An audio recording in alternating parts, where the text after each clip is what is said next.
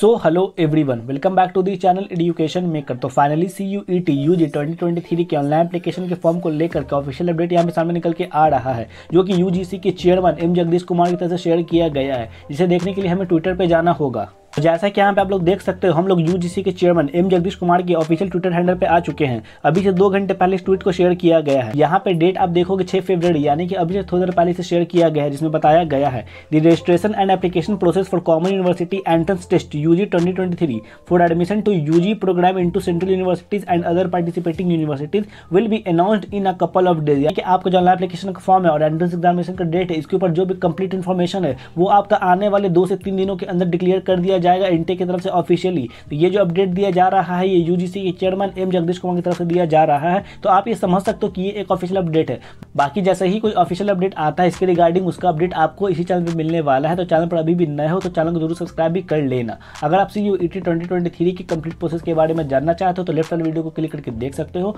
और B admission twenty twenty three की complete process के बारे में जानना चाहते हो तो राइट वाली वीडियो को क्लिक करके देख सकते हो।